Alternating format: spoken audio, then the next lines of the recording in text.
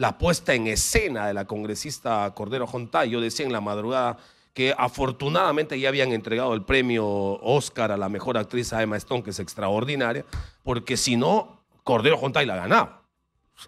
ayer una actuación de teatro que si Michelle Alexander quiere, pueda con su productora del barrio Producciones hacer una novela y ponerla de actriz principal, principalísima. Casi convincente su actuación hasta las lágrimas, para ella y casi para nosotros.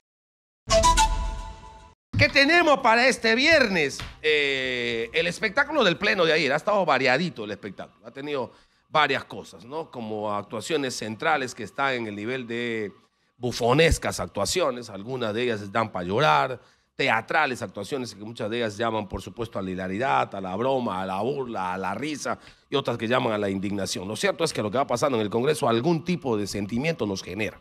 Eh, principalmente el de la indignación, pero también en algunos momentos escucharle, por ejemplo, la puesta en escena de la congresista Cordero Jontay. Yo decía en la madrugada que afortunadamente ya habían entregado el premio Oscar a la mejor actriz a Emma Stone, que es extraordinaria, porque si no, Cordero Jontay la ganaba. Ayer una actuación de teatro que si Michelle Alexander quiere, pueda con su productora del barrio Producciones hacer una novela y ponerla de actriz principal, principalísima. Casi convincente su actuación hasta las lágrimas, para ella y casi para nosotros. El Pleno ayer en el Congreso de la República primero blindó a María Cordero Jontay. Después, a propósito de un escándalo de idas y venidas, de reacciones de algunos parlamentarios y de la presentación de una reconsideración, el Congreso dio marcha atrás y terminó eh, sancionando parcialmente a María Cordero Jontay eh, sobre este tema y sobre lo que ha ocurrido en nuestro teatral Congreso de la República, eh, hemos preparado este informe. Adelante. Será investigada por el Ministerio Público y suspendida del Congreso en el tiempo que duren las diligencias de la Fiscalía. Y es que ni haber acudido en bastón al Congreso y pedir con la voz entrecortada reflexión a sus colegas, pese a las pruebas contundentes en su contra, fue suficiente para que la legisladora María Cordero Yontay fuera sancionada. Ante la absoluta indiferencia de sus excompañeros de Fuerza Popular, la congresista se dirigió así al Pleno. Yo represento una región. He sido elegida democráticamente, pero también soy hija, hermana y familia. Sufre conmigo por todo este proceso. A pesar de todo esto, presidente, me hago presente y pido a mis colegas un voto de conciencia. Sin embargo, la decisión final del Congreso se dio luego de un pedido de reconsideración planteado por la parlamentaria Norma Yarrow. Ello después que el informe sancionador por presuntamente haber recortado el sueldo de sus trabajadores fuera rechazado en primera instancia.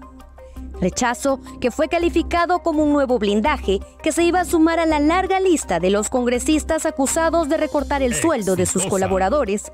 Sin embargo, tras varias idas y vueltas, la sanción fue aprobada, marcando un hito importante al ser la primera mocha sueldos en ser sancionada por el Congreso.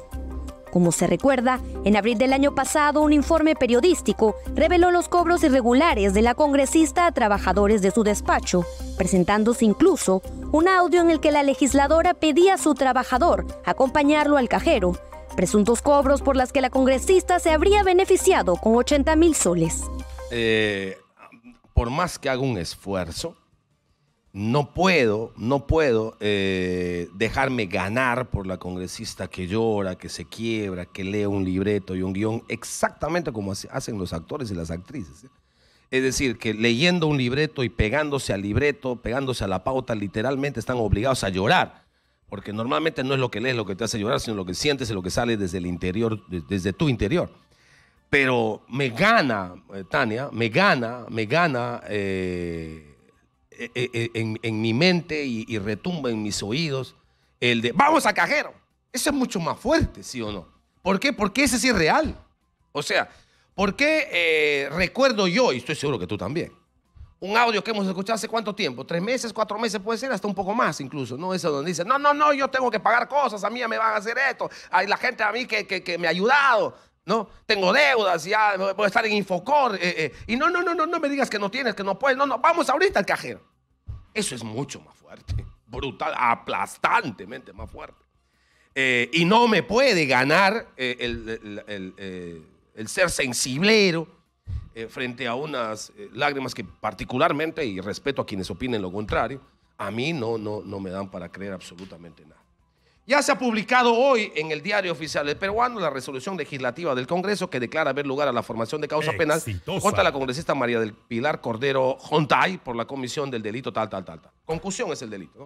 Ahora, mucha gente aplaude el retroceso porque inicialmente la iban a blindar, pero la suspensión mientras dure el proceso de investigación es también un premio para la señora Jontay.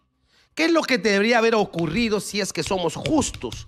Si es que tendríamos una sola regla para medir los aspectos penales, morales y éticos en todos con un Congreso objetivo.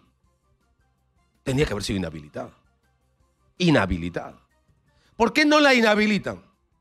Porque hay blindaje, semi-blindaje. No, pero la estamos mandando a su casa. Sí, pues hermano, a su casa y no la inhabilitas 10 años. Y yo puse el ejemplo en la mañana de cómo hay una forma de medir a unos y otras para medir a otros.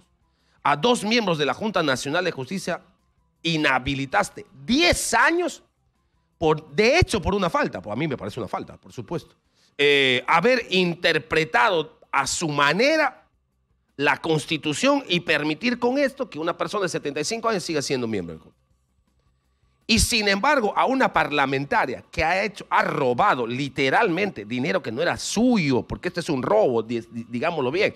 La norma dice concusión, ya ok, concusión dice el Código de Procedimientos Penales, pero en, concreto, en cristiano, es robo, quedarse con el dinero, obligar, presionar, chantajear, poner el puesto de trabajo como chantaje.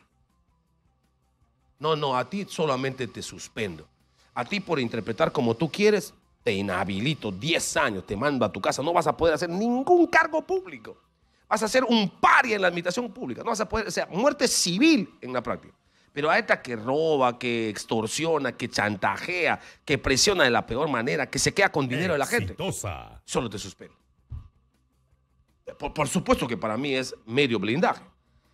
Eh, ahí está la resolución legislativa, eso es lo que se acaba de publicar en el diario oficial peruano, ya está eh, formalizado este tema. ¿Quién va a reemplazar a la señora Cordero Jontay? Otra persona vinculada al Fujimorismo, porque por supuesto tiene que ser de su propia bancada. Estamos hablando en este caso de Magali Santisteban Súcuple, que habló en sus redes sociales y dijo lo siguiente, soy una mujer de bases, de altos principios morales, siempre dispuesta a trabajar para darlo todo por mi querido Tumbes el pueblo que me vio nacer y desde aquí reafirmo mi lealtad, esté donde esté, a mi querido partido, Fuerza Popular. Ella, eh, eh, Magali Santisteban Sucre, ocupó el tercer lugar y por eso le corresponde, lógicamente, es como accesitaria, se va María Cordero Jontay y entra, en este caso, Magali Santisteban Sucre, a terminar la gestión hasta el 28 de julio del 2026. Es lo que va a ocurrir. Punto. Y no sé si ustedes se han dado cuenta del detalle. Eh, cuando la señora María Cordero Jontay, eh, en su mm, alocución con llanto de por medio, dice, soy una representante del pueblo de Tumbes. Y, eh, para, ahí, para ahí, para ahí. Una representante del pueblo de Tumbes. Y tú dices, en teoría sí, pues, ¿no? Porque Tumbes le ha elegido. Pero a ver, escarba un poquito. ¿Cuánta gente le ha elegido a la señora María Cordero Jontay? A la señora María Cordero Jontay la, la eligieron 2.194 tumbesinos. 2.194 tumbesinos. Ah, ok, debe ser que Tumbes tiene 10.000 votantes y el 20%. No, Tumbes tiene 180.000 votantes. Y 2.194 te da para el 1.5%. Pero realmente representa en la literalidad, en la nominalidad, en la teoría representa. Y ahí es donde está la primera fractura de nuestra democracia representativa. Puede ser representativa una congresista que llega al Parlamento con 2.000 votos y la siguiente que la está reemplazando tiene 1.500 votos. ¿Representa a Tumbes? Y el primerísimo lugar, que es Héctor Ventura, apenas ha conseguido 3.600 votos. 3.600 votos es el 2% de votantes de Tumbes y sin embargo con esa votación, ¿representa a Tumbes? ¿En serio crees que representa a Tumbes?